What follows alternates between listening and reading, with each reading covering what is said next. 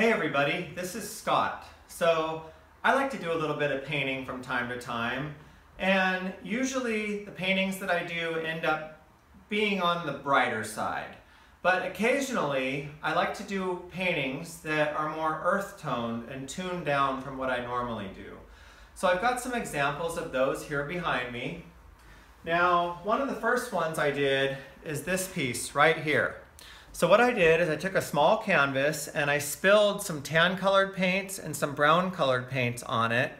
And then I ended up adding some copper metallic paint and some bronze metallic paint and a little bit of gold metallic paint. So after that, I built this frame and then I attached the canvas to the frame using these small wires in each corner.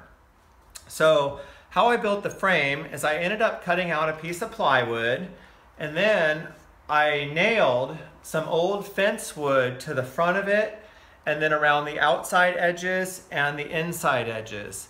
Now, as you can see, some of the wood is really rustic, like this piece right here. So, um, here's another one that I did that's very similar. Um, the main difference is the canvas is quite a bit longer, but built, you know, in a very similar style. Now, here's one that I did where I found this piece of wood that had some nice curved edges. So rather than cut the piece of wood straight and put full trim pieces on both sides, um, I ended up leaving those curved edges and just putting a small trim piece on the outside edge and the inside edge.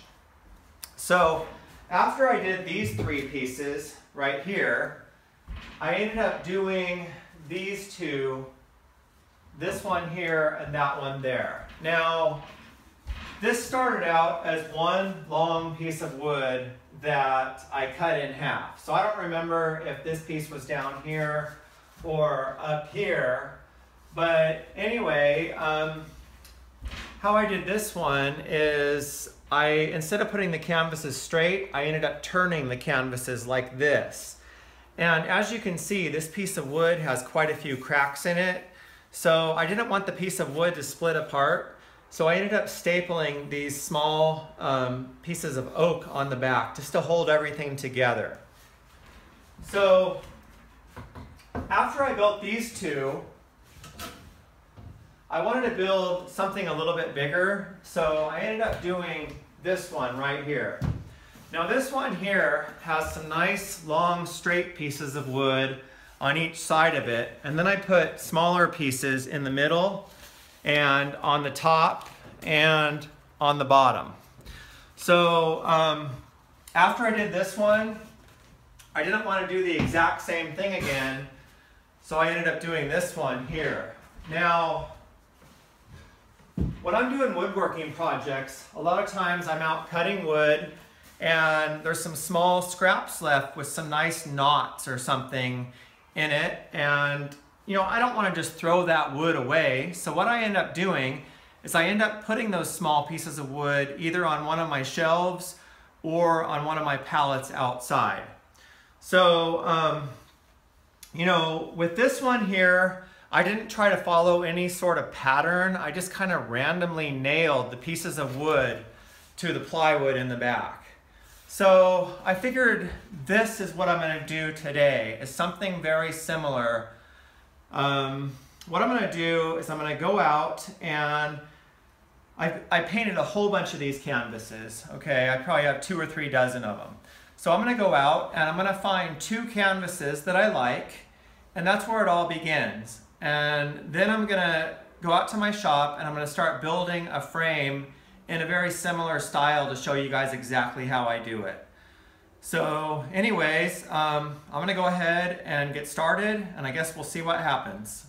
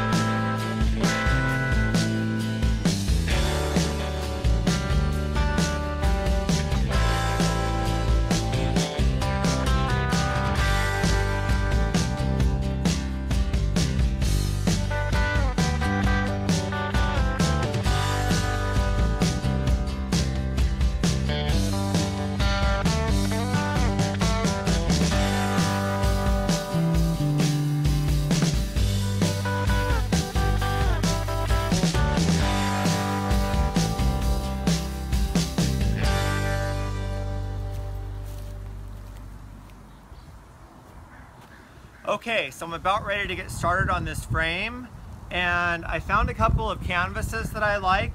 So that's where the frame construction begins is around these canvases to make sure they're gonna fit right.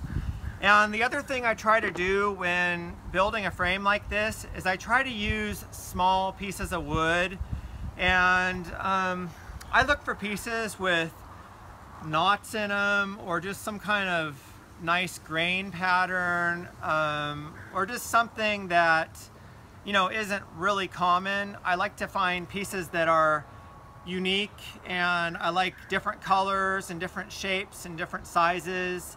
So um, you know like I got a piece of walnut here. Now I may clean this up with a wire wheel, I don't know, but I'm just gonna try to use a variety of wood on this one. Now, the other thing that I think about when I'm building a frame is weight. So if I was gonna build a frame with a lot of straight, full-length pieces on it, then I could probably get away with using a really thin piece of plywood, like quarter inch or 3 8 inch. But this frame's gonna have a lot of really small pieces on it. So it's not gonna have a lot of strength overall. So I'm gonna use a half inch piece of plywood. Now, I know it's gonna have full length pieces going all the way around the edges, but I don't want it to have any flexibility in the, in the middle. So I think half inch will be fine. And I think three quarter or even five eighths would probably be overkill. So anyways, um, I'm gonna go ahead and cut the plywood and then I'm gonna start nailing some of these pieces on it and get this thing going.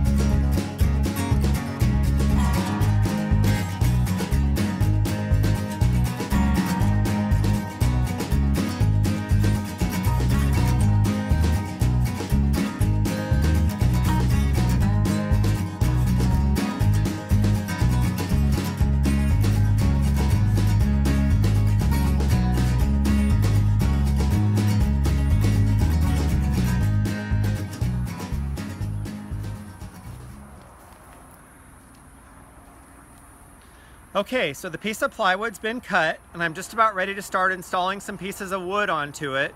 But there's one small detail I wanted to mention before moving on. Now, a lot of the pieces that I install onto the plywood will either be a slightly darker color than the plywood and some will be a much darker color than the plywood. And a lot of times those pieces of wood will have very small gaps between them. So you'll still be able to see the plywood between the gaps.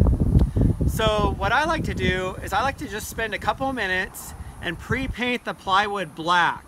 And that way if there are small gaps between the pieces, the black will help make the plywood disappear much better than the regular plywood color.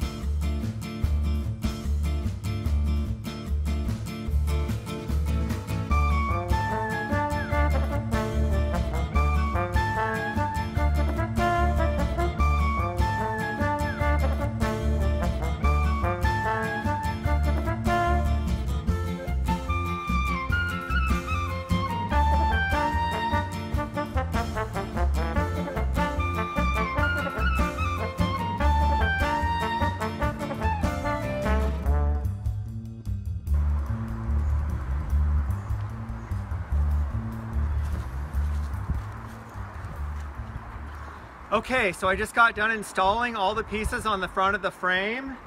And you'll notice how I left the pieces uneven all the way around the edges and in the middle. So the next thing I'm gonna do is I'm gonna flip the frame over like this and I'm gonna take my skill saw and I'm gonna rip off all this wood that's hanging over the frame and I'm gonna make it even all the way around. And then after that, I'm gonna take some trim pieces and install the trim pieces all the way around and in the middle. And after that, probably put some polyurethane on it and install the canvases.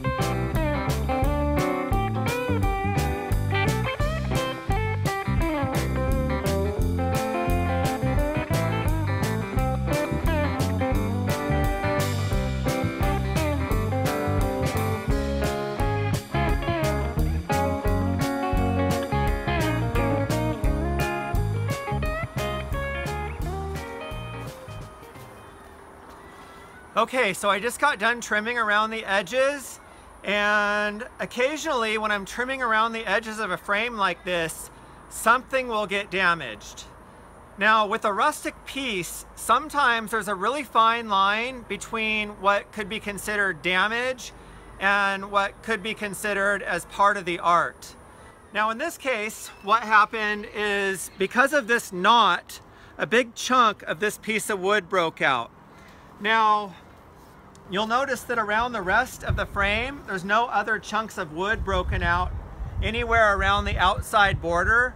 So if there was another chunk of wood broken out, say down here, then this would be perfectly fine.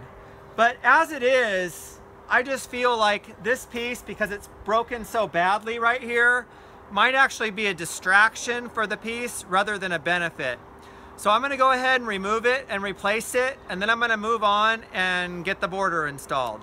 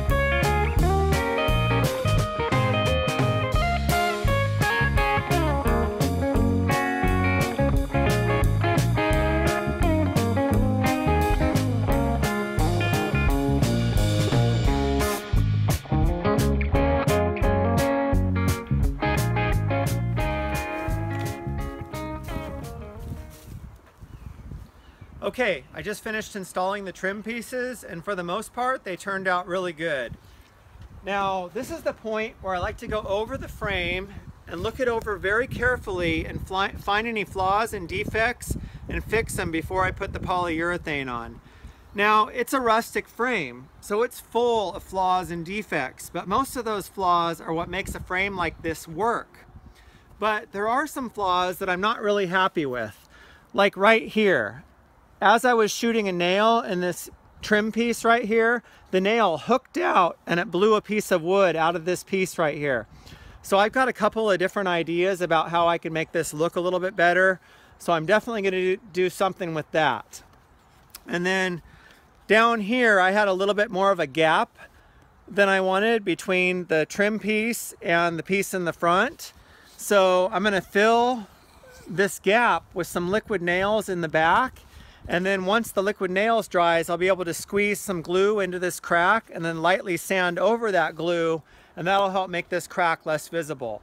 So beyond that, um, I'm just gonna fill nail holes, very lightly sand the front.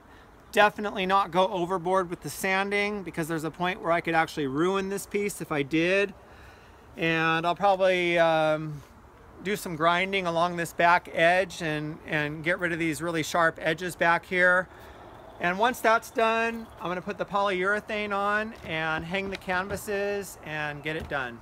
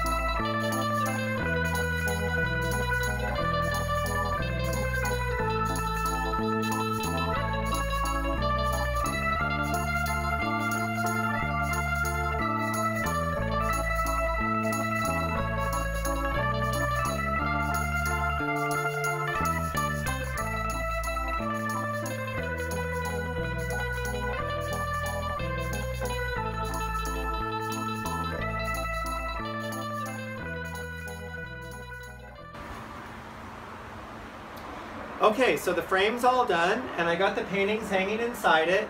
And I've got to tell you guys, I had a really good time doing this one. There's something fun about just installing wood at a random pattern with no real plan. So next time you're doing a woodworking project and you have a bunch of scraps of wood left over, make sure you look carefully at them before you throw them in the garbage. Because sometimes they'll have knots or interesting grain patterns and you can give them a second chance and a second life by doing some sort of project with them. And one thing I would recommend if you do try doing a random rustic woodworking project, try to trust your first instinct as much as possible and try not to overthink things. Because usually what ends up happening is your first instinct ends up being the best one. And when you try to overthink things, sometimes you can become frustrated and maybe even end up losing interest in the project. So anyway, I hope you guys found at least some of the ideas in this video helpful and I hope I see you on the next one.